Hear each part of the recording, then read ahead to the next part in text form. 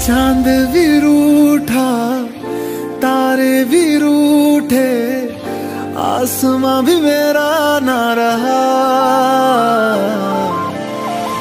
हैरान हूँ मैं, दिल में तेरे क्यों, मेरा बसेरा ना रहा।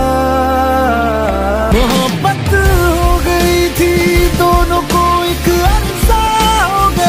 मेरा तरफा एक तरफ